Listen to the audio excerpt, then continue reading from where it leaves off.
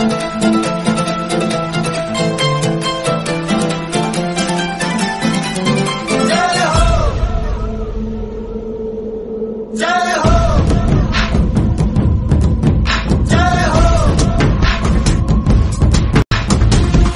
आजा जिंद शामी आने के तले आजा जरी वाले